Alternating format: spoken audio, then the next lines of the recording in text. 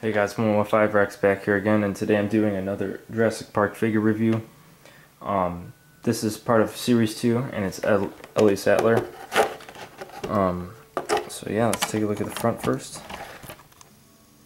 We got the movie collector card, and that's actually the... Sorry, there's like a glare. Alright, well there's the actor, Laura Dern. That's when they're finding Malcolm after the T-Rex escapes. And we got the Jurassic Park logo right there. More warning stuff.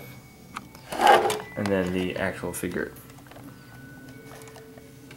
Yeah, these figures were pretty big compared to Star Wars figures. It's pretty pretty big here compared to Commander Wolffe. If you could sort of just see, I know that's a really bad angle, but if you pulled one of these out and compared it to a Star Wars figure, it is a big difference. It's like that. But anyway, she comes with a grappling hook, some backpack to attach it, I guess, and I believe that's an Ankylosaurus. Yep. So let's take a look at the back. We got the basic Jurassic Park logo up in the top left, then the instructions in the top right.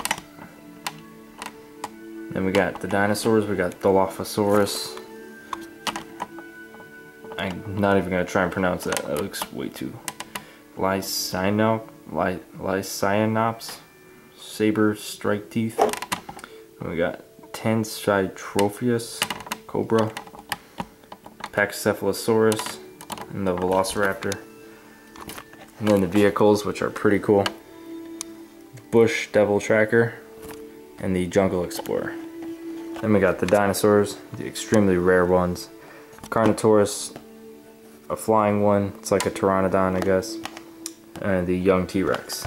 And over here we got the Dino Trackers. Harpoon Harrison, Jaws Jackson, and T-Rex Turner. So, yep, that's pretty much it. Yeah, Kenner didn't make that many of these figures for the first movie. They didn't get every character, but they got the pretty much main cast and the important people. Um, these packages don't really stand up well on their own. I mean, first attempt of this review, I tried doing it, but fell and just backwards. Um, but you can see how packaging has just evolved over time for all toys. How they save money on plastic and all that. But whatever, I, I love these figures.